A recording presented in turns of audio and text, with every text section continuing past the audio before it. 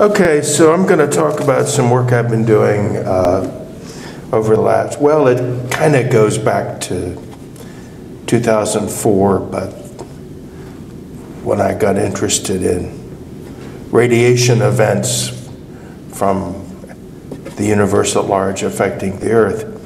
But in the last couple of years, it's heated up on this particular event.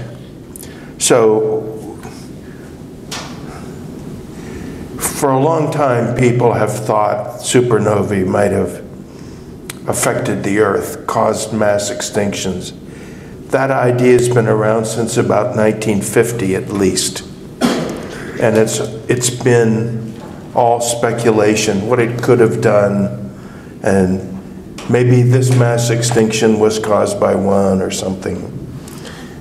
When the people found the evidence in rocks for the asteroid impact that had a role in killing off the dinosaurs, they were actually looking for evidence of a supernova, and they stumbled on this other stuff. So it's, it's all been kind of a what if game for a long time until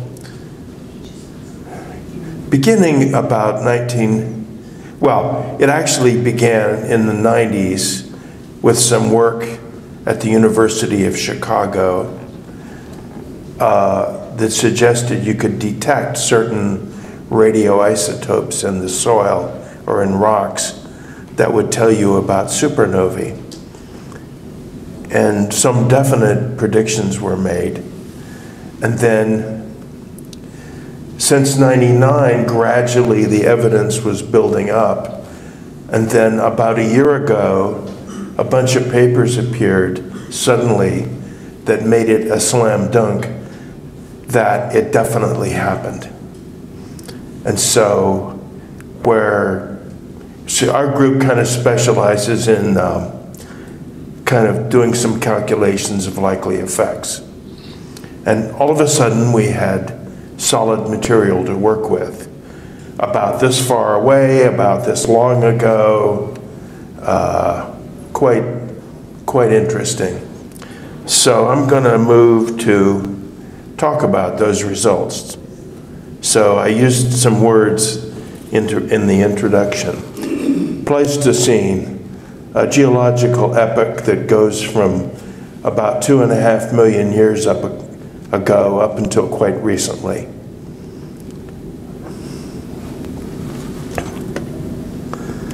So before the Pleistocene was the Pliocene. So the Pliocene was kind of warm, and the, the animals didn't look too much different from the ones today. I mean, a bit different, but not bizarrely different.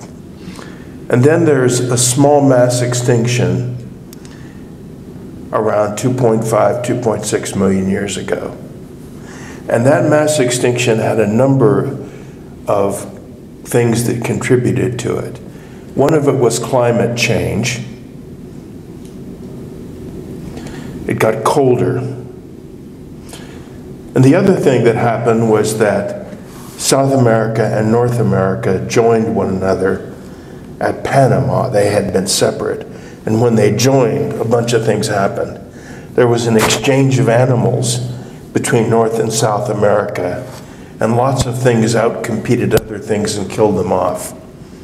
And then the closing of Panama cut off ocean circulation from the Atlantic to the Pacific and, and, and so on. So a lot of animals that depended on nutrients moving back and forth and water temperatures got killed off.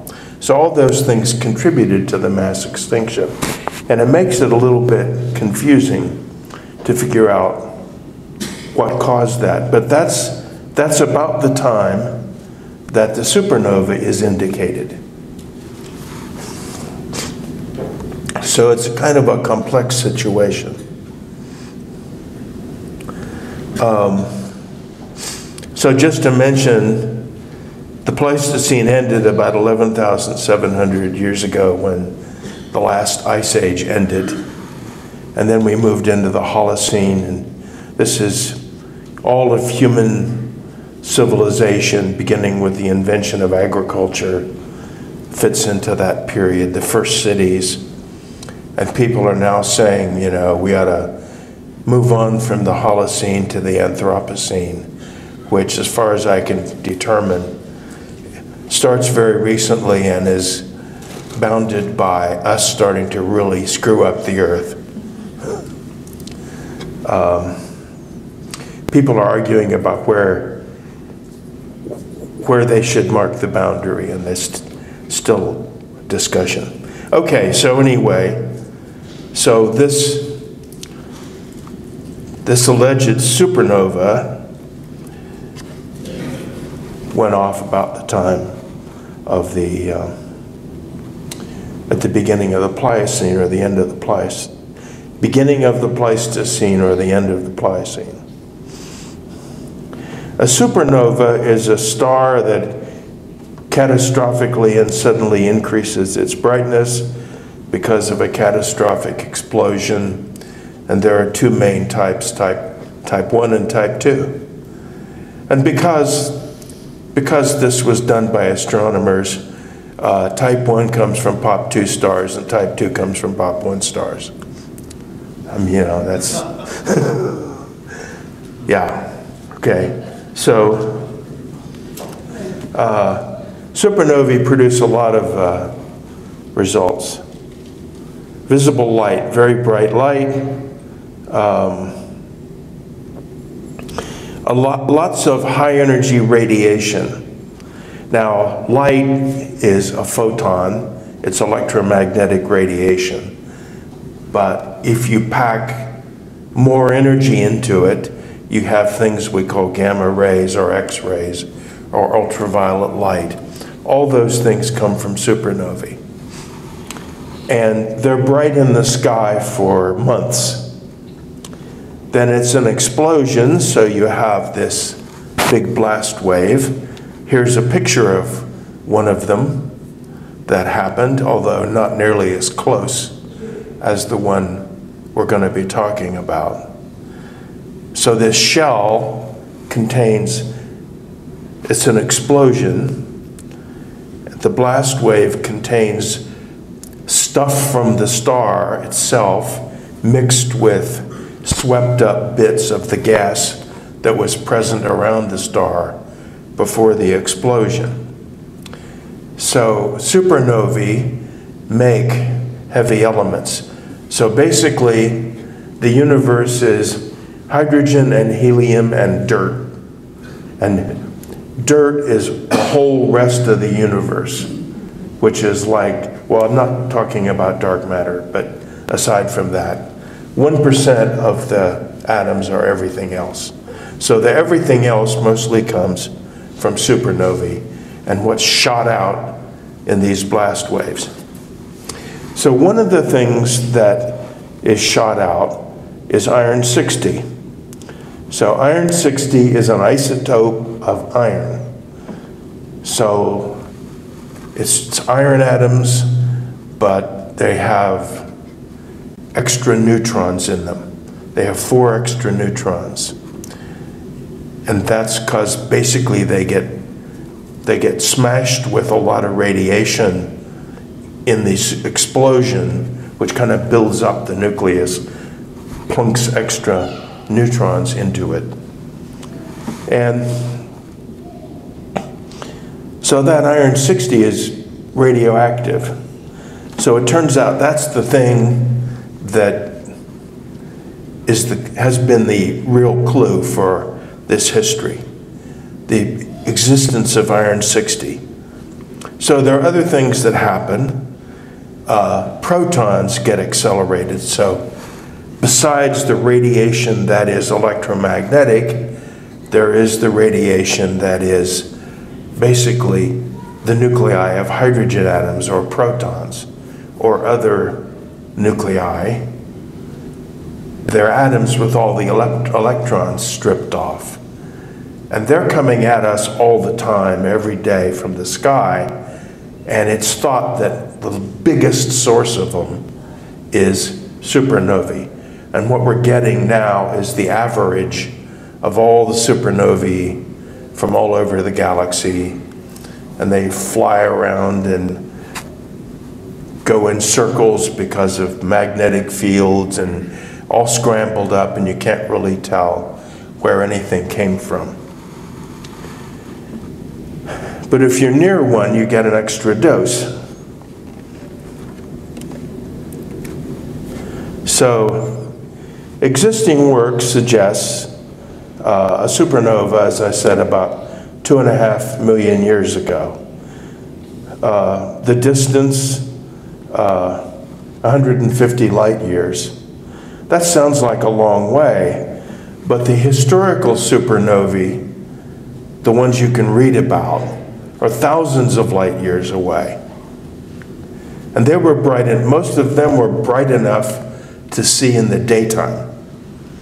So you can kind of get an idea from that of how something at 150 light years would be. So um, in 99 and 04, there were iron 60 signals, and there were ideas of other things to look for, but it wasn't, it wasn't completely convincing because the work is literally, you're literally counting atoms, individual atoms. It's, it's so refined and precision a measurement. So then it changed. So here's kind of the idea of how, how things happen. The earth sitting there, the ocean, the atmosphere. Supernova comes. Its, its, its blast wave reaches us and it contains dust. And in the dust is embedded iron 60.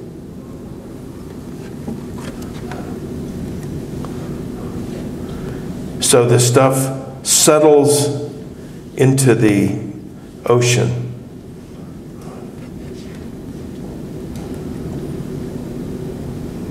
And eventually settles down through the ocean into sediment in the bottom of the ocean. And then it gets buried. So there are actually multiple ways to look for it in, in the ocean sediments. There have been three. One is just like in a layer, another is absorbed onto the surface of rocks, and the third, which is really weird, is that there are bacteria that incorporate iron into their bodies as a way of uh, well, nobody really knows why, but it's thought some kind of sense of direction for magnetism. So they have these little iron bearing strands. And when they're fossilized, you can still find the strands. And the strands have the iron 60 in them. So uh, in 99 and 04, you had uh, a little bit of detection.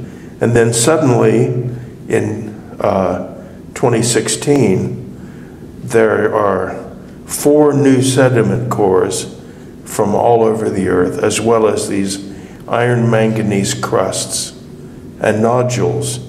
So they put that together with the detections before, and there are also the detections in fossil bacteria, and there are even detections of iron 60 in space that's still, still hitting us. So there's a huge expansion of evidence. And um, so this is a borrowed slide. So unfortunately, it has parsecs in it. Parsecs about uh, three light years. So, and this was done to think about mass extinction. So it says multiple events less than 10 parsecs in the last four and a half billion years. Well, that's about the distance that people guess that you might have a really big mass extinction. So this slide is kind of trying to capture the uh, estimated rate.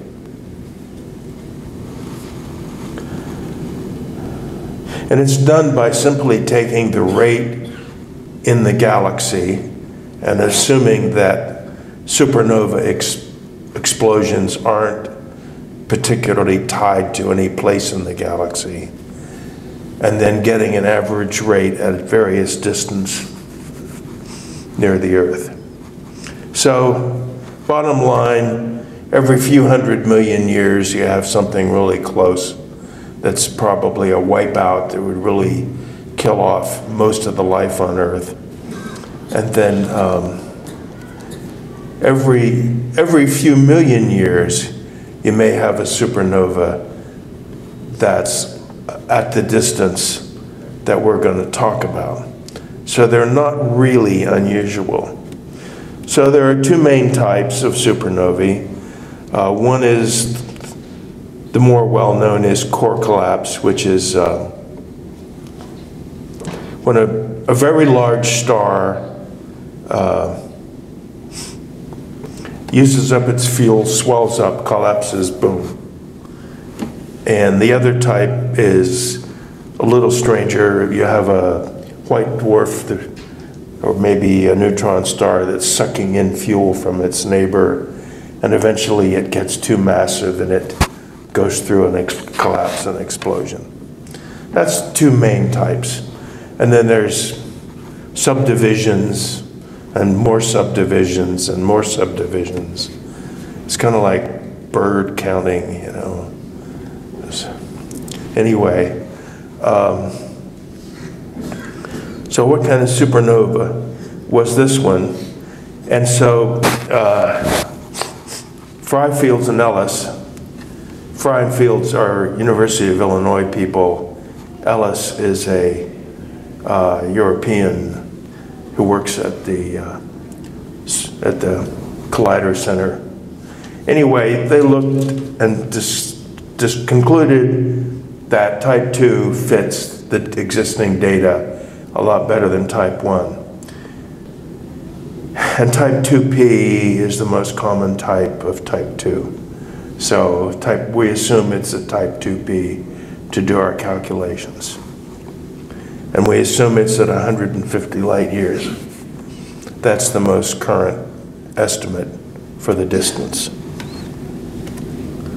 So there are a bunch of different possibilities for what effects we could have on life on the Earth. Direct radiation effects. Uh, many people think about, you know, us getting irradiated by the gamma rays or the X rays or the cosmic rays. And then there's muons, which are produced in air showers. We'll come to that. So there's, they can be significant. And there's blue light. What? We'll get to that indirect possible atmospheric effects. So the cosmic rays shower through the atmosphere and they tear atoms apart. Normally the atmosphere is, you know, stable nitrogen, oxygen, and other things. But all of a sudden, this cosmic rays come ripping through, knock electrons off of atoms, break molecules apart, and you can create compounds that don't normally exist, oxides of nitrogen. One of them is, by the way, laughing gas. So, so somebody suggested, you know, you look for fossils with smiles on them. but but uh, anyway, some of the oxides of nitrogen catalyze and destroy ozone. But the ozone layer is what protects us from UV from the sun. So you get the UV layer potentially wiped out. This is the effect that most people have considered most of the time, going back to 1950. So if you have a burst of radiation, the ozone layer will recover in about five years, but uh, in the case of the supernova, you'll see radiation just keeps coming. So this might be important. And then there's climate. Can the climate change? Well, we don't know about that. That's, that's work that we haven't done. And it's climate modeling is incredibly complicated and difficult. Uh, and we haven't even really started on it. But we found some potentially interesting results that I'll tell you about. So first let's think about the UV and direct, the ultraviolet and visible light. So we've looked at this. There's a UV flash from the supernova, far too weak to be important. But the, the object will be bright in the sky for very bright for a few weeks, and it'll be rather blue for a few weeks. And if it happens to go off where on the night side, so it's bright in the sky at night, well, you have a problem. It's like artificial lighting, which is actually a pretty big hazard for uh, anim animal life due to our civilization. And in fact, the new energy efficient LED lighting produces a lot more blue. You may have read about the advice against working with your computer near bedtime being bad for you. It's because of the blue light component. And the level of blue light from the supernova we've calculated is been is high enough to cause problems for animals. So my collaborator Brian suggested, you know, the animals are all trying to sleep. There's this blue light in the sky. It keeps them awake. They get up in the morning they're all crabby, they all bite each other, and you have a mass extinction. well, yeah, who knows? But uh, it could be an effect. We'd probably never be able to see this in the fossil record because something that happens for a few weeks is just at a time scale that's too short to resolve but it might be there. Cosmic rays at the Earth. So, one of the interesting things about all this is the existence of the local bubble. We are right just inside the edge of the, this, this region of hot gas called the local bubble. And it's thought to have been formed by a lot of supernovae going off, one after another, boom, boom, boom. So that, that sets the environment for our cosmic ray calculation. Because cosmic rays are deflected by magnetic fields. So whatever we assume about the nature of the magnetic field between us and the supernova has a really big effect on how the calculation turns out.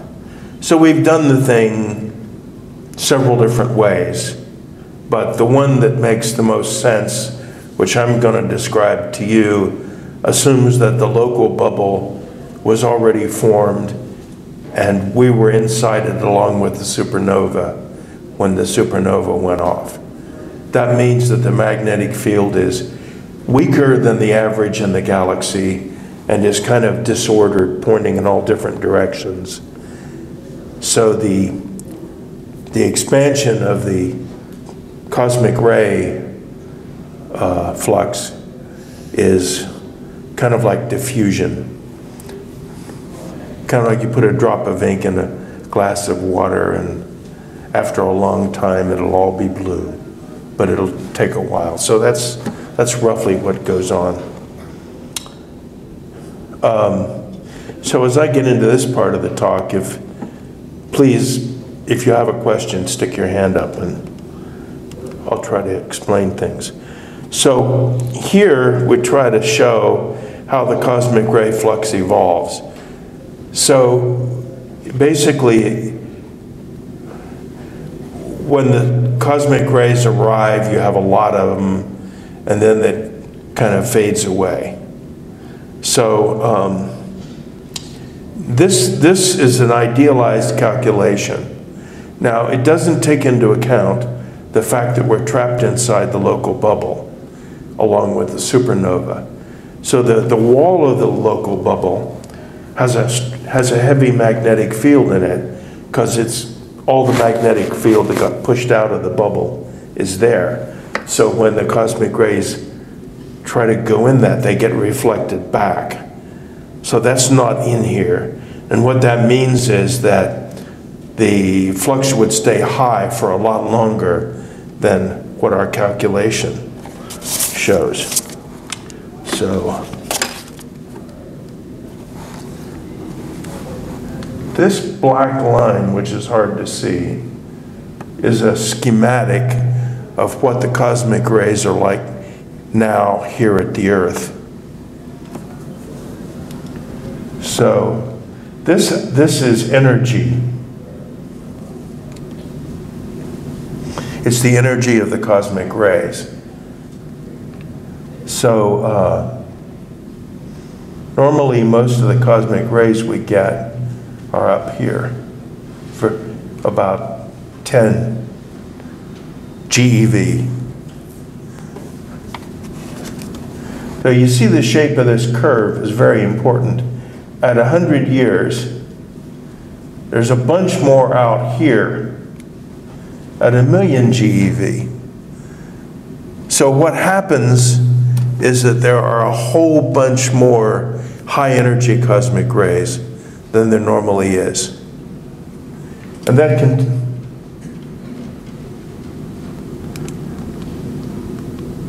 that continues for some time.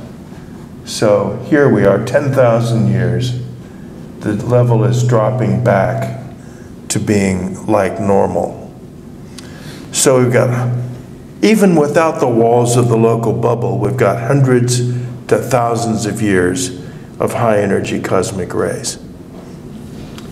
So the behavior is very different from what we normally get. We normally get cosmic rays and Sometimes we have a bump, like if there's a big solar flare, we'll get a bunch of energy from the sun. And that's that energy, although it can do things, serious things, it's mostly here or even back off the edge of that graph. So the way it behaves is very different from these things. In particular, the main effects of the normal stuff is way up in the atmosphere, you know, 30, 40 miles up. And as you're going to see, this stuff is very different in its effect. So that's because of air showers. So air showers, uh, a proton, most cosmic rays are protons, comes down, hits the upper atmosphere, and there's a whole zoo of elementary particles that get produced. Other things it does is produce carbon 14 and other isotopes. So carbon 14, for example, is reasonably steadily produced by cosmic rays in the atmosphere, and there's a reasonable steady rate of it being incorporated into wood. And so you can date things by, because it's radioactive and it decays, and when the tree dies, it's not getting any new carbon 14. So you can go and see how much carbon 14 is in the tree and then say, well, this tree died 4,000 years ago, whatever. That's all important. But if you want to go down to the ground, the big thing that you get is a lot of muons. Muons are, were normally just constantly being showered by muons. They're, they're going right through us in great quantities all the time. They don't normally hurt us much because they overwhelmingly just pass through. High energy muons like come down from the sky can go through about a half a mile of ocean water. So a person isn't a big target for them. But there are so many of them that they do count for our radiation dose here on the ground. About one sixth of the radiation we get is muons from cosmic rays. So, one of the things that happens is that the muon dose goes way up. So I've had graduate students who've worked on this stuff, three over the last 12 years, and some of them, they did work on these radiation events and what they do to the atmosphere. One of them was Drew Overholt, who's made this plot. He's now on the faculty at Mid America Nazarene University in Olathe. Anyway, this is our supernova case, and the blue is neutrons, and the red is muons. The range is kind of our uncertainty about how much there is, and the horizontal lines indicate the present dose. So what I want to call your attention to is that there's at least 10,000 years where the muon dose is really high. So I said that um, we normally get about a sixth of our radiation from muons. So crank that up by a factor of 100. That's what you get from this nearby supernova. So what, what's this radiation like? Well, it's not disastrous, but the dose, you can say, every organism gets several CAT scans a year. Now, your doctor wouldn't, wouldn't do that to you because he knows it would be risky, unless it were necessary to save your life from some other thing. So, there's a definite radiation hazard for life on the ground from muons. This is something never considered before with regard to a supernova. Um, and weirdly, this is going to have the biggest effect on large organisms. If you're a rhinoceros, the normal radiation around you isn't going to penetrate very far. Most of it would be stopped by your skin. About the only extra hazard would be inhaling radon, which we worry about for ourselves actually. So, but this muon dose comes along and the ins to a muon, the rhinoceros, is nearly transparent. So the, the, the, the, mu, the uh, rhinoceros gets a lot of radiation that it wouldn't normally get inside.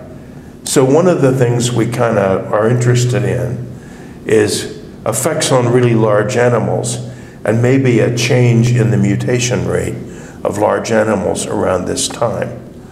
And there was a change in the large animals around that time. We don't know. Evolution, there are some, there are some fragmentary evidence that kind of suggests that maybe the mutation rate speeded up around that time. So it's something we want to investigate more, but it seems like a definite possibility. Uh, so the next thing is the atmospheric effects of cosmic rays. So once again, this black line, this is the ionization rate in the atmosphere.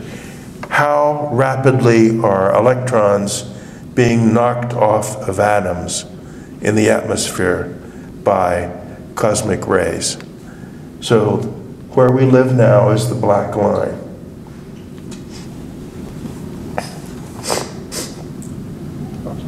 Now, if you get, if you get a, a, a an event from the sun, most of the effect is up here, 30, 40 miles up. you get the auroras, you maybe get some depletion of the ozone layer, things like that. But most of what you see down here is coming from normal galactic cosmic rays.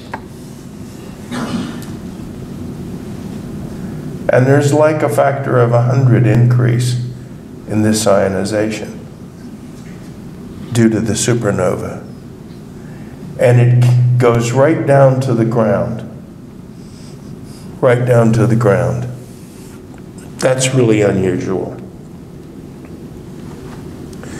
So it means that we can, we can look for, think about effects in the atmosphere right down to the ground. A whole different game from all the other radiation events.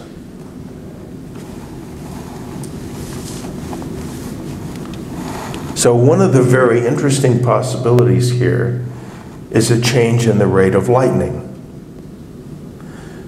Because light, when lightning wants to get started, it needs some free electrons to kind of start accelerating them, and then builds up and builds up and builds up, and boom, you have a lightning bolt. So that one of the dominant ideas about how lightning gets started is that it's cosmic rays. Cosmic ray tracks provide a leader for lightning to, to be initiated. So what this has is a hundred times more ionization, and then the tracks are like from these cosmic rays coming straight down. So we think that you could have a large increase in lightning. This may be the other big effect besides the muons.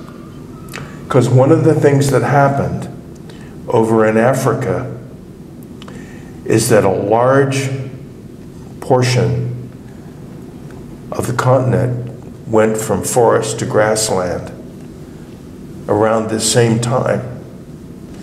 That could have been a result of lots of fires because grassland recovers from fires. Forests don't recover so well, especially if it's burning, you know, frequently. So could the cosmic rays increase lightning, which increased fires in Africa? That's a cleaner place to look because it's not all confused by all the stuff at Panama and North and South America. And one of the big theories about us is that the change from trees to grassland forced us to climb out of the trees and start walking on two legs. So there may be a, a direct connection to human evolution here.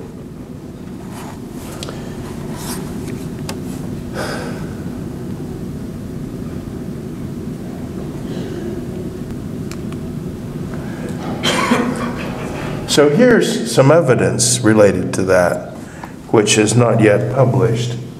Um,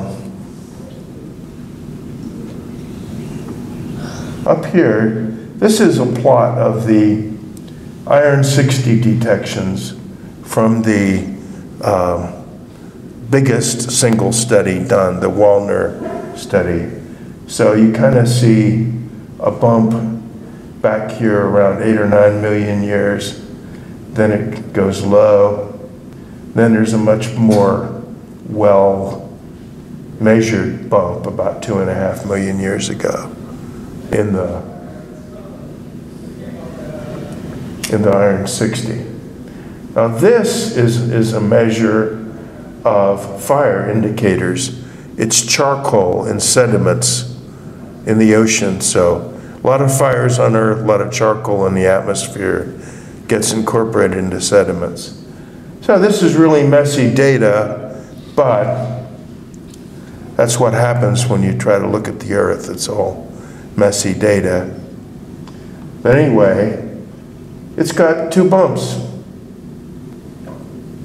And they roughly, the charcoal bumps roughly coincide with the iron 60 bumps. So the idea that there was uh, fire, enhanced fire, is, has some supporting evidence. So this is just beginning. It's just beginning to be looked at, but it looks good. So, conclusions. Uh, Iron 60 suggests a relatively nearby supernova about two and a half million years ago, and new work just keeps adding evidence that this really happened. The ozone depletion thing, which is what everyone is worried about for 60 years about this, actually turns out not to be very bad. There is a lot of muon increase, and so there is some increased radiation on the ground that might especially be important for big animals. And there's a big increase in uh, ionization of the troposphere. That's the lower atmosphere, which may cause an increase in lightning and may have caused increased rate of wildfire, wildfires and or climate change. So, but that's not last. They always ask, should I worry? Well, my answer is no, don't worry about this. This is, uh, is of interest to understand the past for the earth, but not likely to bother us anytime soon. You should worry, I'll tell you what to worry about uh, globally. Worry about climate change. You can compare us to the old story of the frog who's placed into a pot of water, which is put on a stove, and the heat turned on, and the frog dies because it never realizes what's happening to the temperature in the pot. So this is a big problem. And the other big the other problem is solar events. So there's more evidence that the sun has big eruptions, maybe every few hundred years, seriously major flares. That evidence is coming from bumps in, in the carbon 14 history. The carbon 14 is made by cosmic rays from the sun and so there are big bumps around 900 AD, 775 AD, a new one about 500 AD. And so these events, um, these events were not a problem for the life on earth or the people of those times because they, they weren't in, intense enough to mess up the atmosphere I mean, in medieval times, no one would ever notice a moderate increase in skin cancer. It just wouldn't be noticed. And that's about what, you know, you might have at worst. But what these events can do is strongly affect the Earth's magnetic field. And if some of these events happen today, it could knock out the electric power, and it could, along with that, blow out transformers. And a moderate event, like the one that happened in 1859, has been estimated to cost three or four trillion dollars worth of damage to the economy. And it might even kill some people. Depends on, you know, how long, how long is the electricity off? You know, no electricity, not much of anything. A whole generation of young people are unable to find their way home because uh, the, the, GPS satellites are off. Uh, they're walking around. Uh, and uh, the your refrigerator is off, and your car soon runs out of gas because there's no ele electricity to run the gas pumps and they need to build transformers, and that's not something you can do overnight. So it, these events could be a serious hazard to us, to our technological civilization, and we don't understand how often they happen. So those are the things I say you should worry about. So there are some papers if you want to look at.